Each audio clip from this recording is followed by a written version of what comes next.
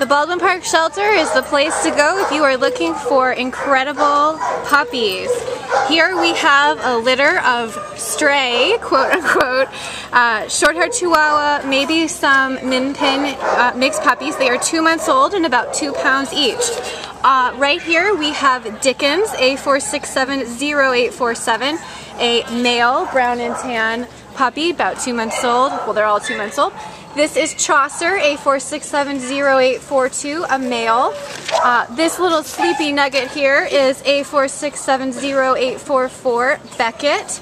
And down here we've got Ellison, A4670845, a male, and Hemingway, A4670841 also a male. And over here we have our only little girl. This is Bronte, A4670838, and Eliot, A4670840, a male.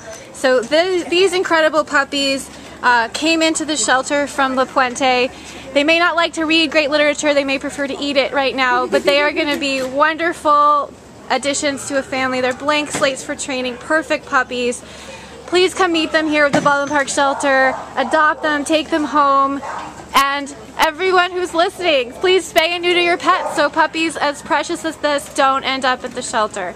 So, literary puppies here at the Baldwin Park Shelter. Please come meet them.